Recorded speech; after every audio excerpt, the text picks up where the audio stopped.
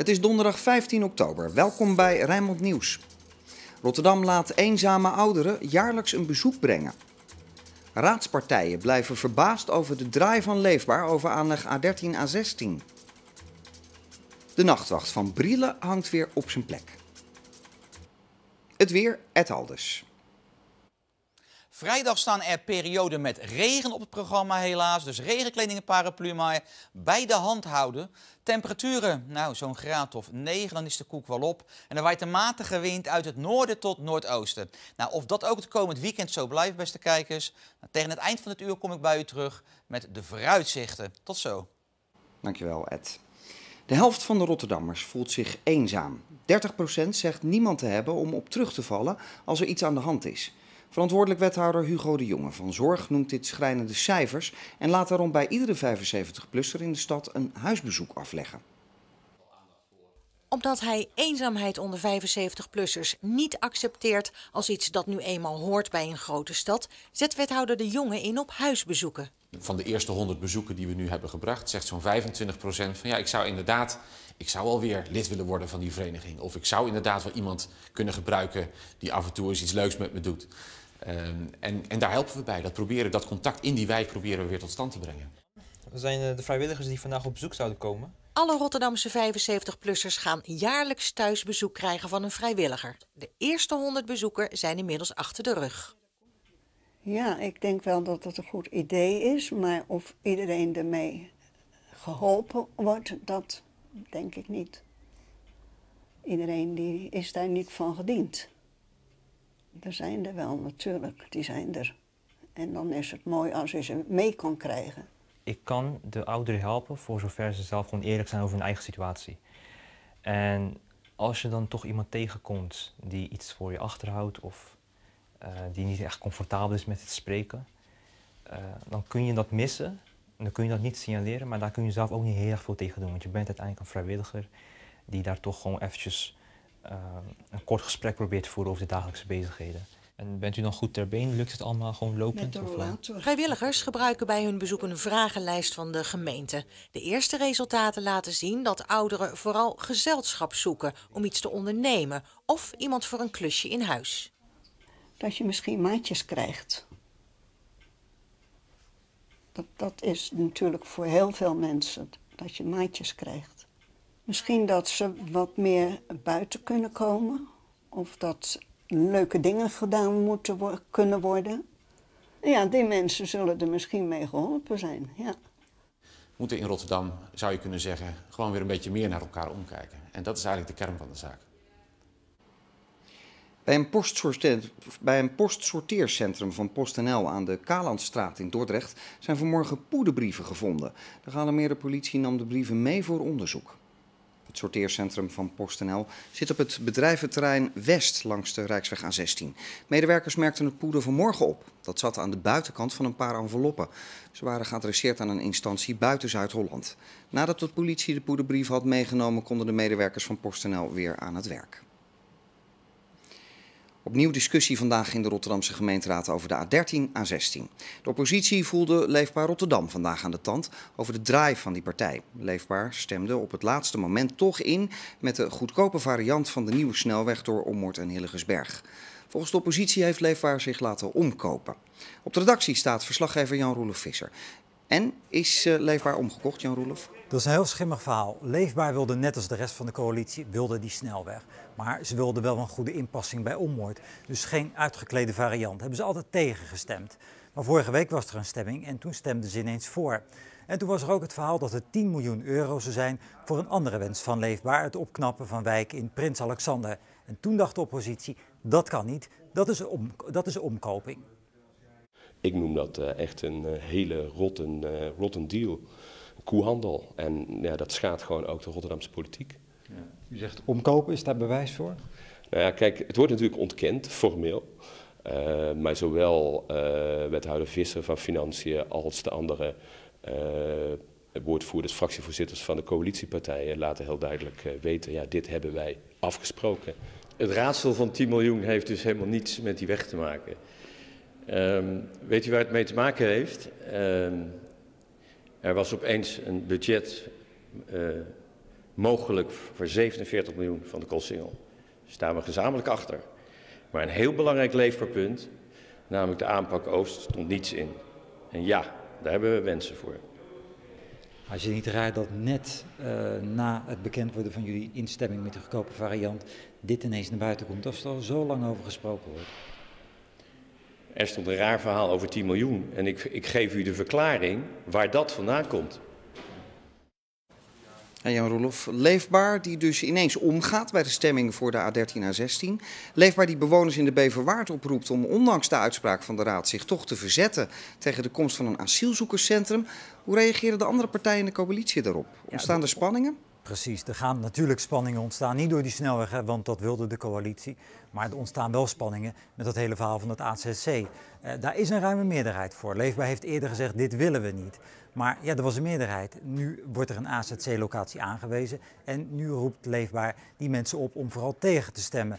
Ja, D66 uh, die vindt dat niet leuk. Dat irriteert echt bij D66. Want zij zeggen, ze doen nu net of dat raadsbesluit teruggedraaid kan worden. En dat kan niet.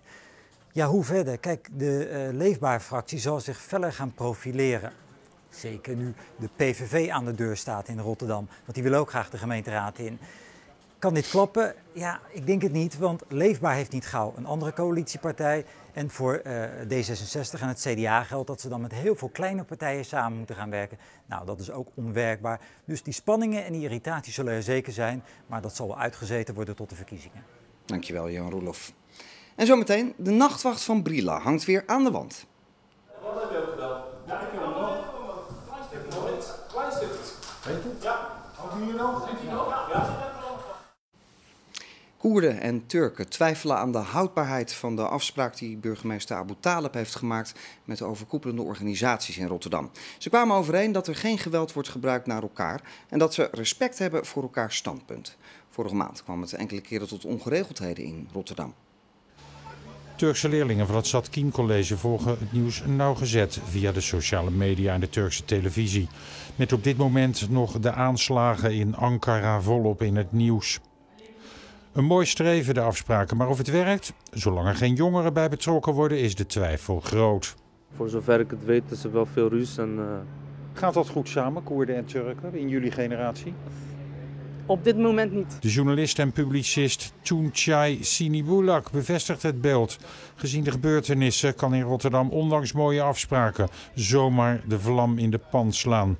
Uh, in deze stad zeker. Als je kijkt naar, naar de laatste decennia, zie je gewoon dat de jongeren in heel veel opvattingen, zowel in hun beleving van, van een religie als de beleving van, van een ideologie, zie je dat ze veel radicaler zijn dan hun voorouders of hun ouders. Wat moet er wel gebeuren hier? Ik denk dat het beter is dat, dat er een, een bijeenkomst plaatsvindt met jongeren. Niet over jongeren gesproken worden, maar met jongeren, met de jongeren van, jongens, niemand heeft baat bij dat, er, dat de conflicten in Turkije geïmporteerd worden naar Nederland. Vorige maand stonden Turken en Koerden in Rotterdam lijnrecht tegenover elkaar. In dit Koerdisch ontmoetingscentrum werd een molotovcocktail naar binnen gegooid. En bij Turkse verenigingen sneuvelden ruiten. Voor de camera wilden Koerdische Rotterdammers niet praten vandaag, maar erbuiten laten zij weten dat de pijn heel diep zit. En er, zolang hun leider Abdullah Öcalan niet vrij is en er geen einde komt aan het geweld tegen Koerden, Rotterdamse afspraken in de praktijk waarschijnlijk niet zullen werken. De tweede beste kapsalon van Nederland zit gewoon in Rotterdam.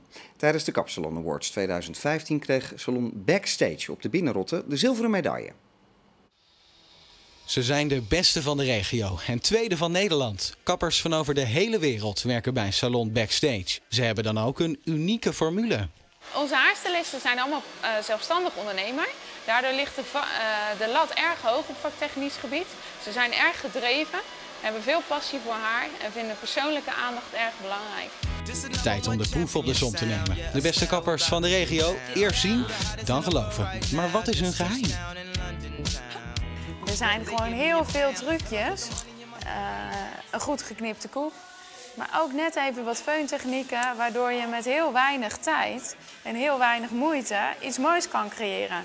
En dat is vaak onwetendheid van de klant. En dat proberen wij de klant ook uit te leggen.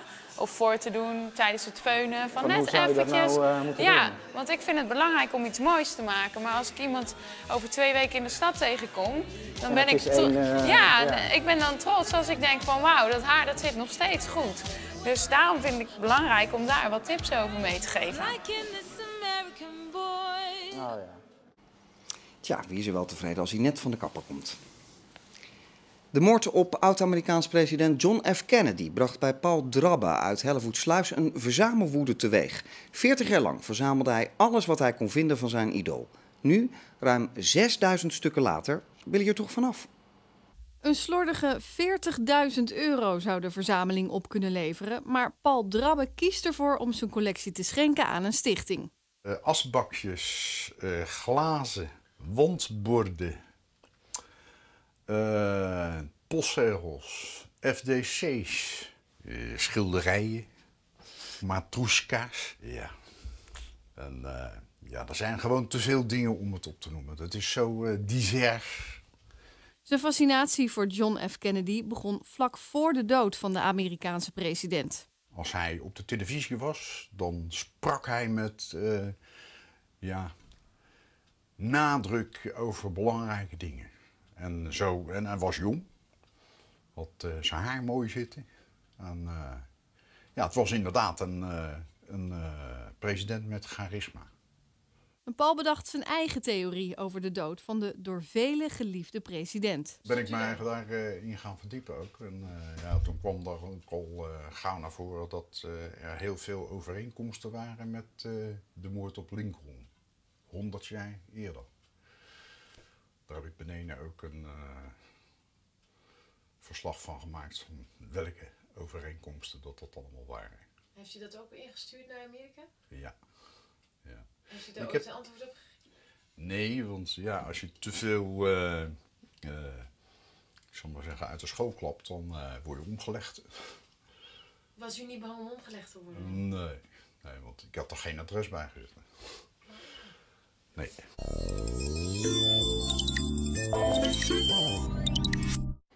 Nou, we zijn klaar met het Nederlands elftal, want de regioclubs gaan weer competitievoetbal spelen.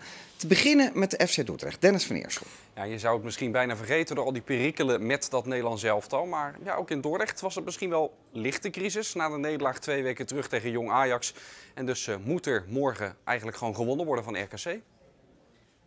Door de nederlaag tegen Jong Ajax lopen ze aan de Kommerdijk bijna twee weken lang al met de pest in hun lijf rond. Althans, de trainer doet dat wel, want die baalt nog steeds van dat verlies. Ja, dat, hebben dat heeft ook wel een beetje nagesurd, moet ik zeggen. Eh, Zeer teleurgesteld eh, in het resultaat. Maar goed, eh, je moet natuurlijk wel verder. We hebben vorige week eh, een rouwweek gehad en, en eh, nu was de focus eh, naar RKC. Tegenstander RKC is ver weggezakt in het Nederlands betaald voetbal. Een paar jaar terug speelden ze nog eredivisie, nu staan ze bijna onderaan in de Jupiler League. Een ideale tegenstander voor FC Dordrecht om de weg naar boven weer in te slaan. Voor ons is het eigenlijk erop of eronder. Als we winnen kunnen we een beetje bij de subtop aanhaken.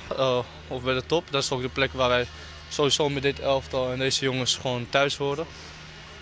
Dus het is- in principe de ideale tegenstander om, eh, om weer een goede stap voorwaarts te zetten en een reeks neer te zetten. RKC Dordrecht begint om 8 uur en is vrijdagavond live te beluisteren op onze website. Nou, Sparta speelt eh, zondag pas tegen FC Os. Toch is er vandaag al nieuws vanaf het kasteel, want Thomas Verhaar heeft een prijs gewonnen. Hij is eh, verkozen tot de beste speler uit de eerste periode in de Jupiler League, mede doordat hij ook topscorer werd in die periode. Dankjewel, Dennis van Eersel. Hij hangt weer in het Historisch Museum Den Briel. Het schilderij De Officieren van Oranje Vendel, ook wel de Nachtwacht van Brielen genoemd. Het schilderij uit 1680 is 5,5 meter bij 2,5 meter. Dus bij het ophangen moesten flink wat sterke mannen met witte handschoentjes helpen. Stap 1 van deze operatie: het gigantische schilderij in de lijst krijgen. De restauratie van het schilderij van Maarten van der Fuik begon in januari dit jaar en zou eigenlijk in juli klaar zijn. Maar er was zoveel aan te restaureren dat het wat langer geduurd heeft. De restaurateur vond het niet erg om langer bezig te zijn, want het was een mooie klus. Het was heel erg overschilderd. Het was eigenlijk niet meer te zien hoe de schilder zelf geschilderd ha- had. Dus er waren hele afgevlakte gezichten te zien. En uh, wat heerlijk was, was om die overschilderingen eraf te nemen en om echt weer die verfstreek terug te zien. Die 17e eeuwse technieken, uh, al die details, maar ook de karakters van de gezichten. Het schilderij uh, kwam weer tot leven. Het schilderij kwam weer tot leven. Ja, dat was gewoon geweldig natuurlijk om te doen. Stap 2. Het schilderij vastzetten. Voor de restaurateur komt nu dus een einde aan maanden werk. Maar ze valt niet in een zwart gat. Omdat het, uh, omdat het wat langer heeft geduurd dan ik had uh, voorspeld, ligt er heel erg veel uh, werk in mijn atelier op mij te wachten. dus ik moet weer hard aan het werk thuis. Stap 3. Ophangen. En zo hangt het weer en kijken de mannen van de schutterij je weer fris aan vanaf de wand. Al dan niet een beetje schil. En met het knappe staaltje van Hollands Glorie uh, eindigen we Rijnmond Nieuws. Kijk voor meer nieuws op Rijnmond.nl. Nog een prettige dag verder.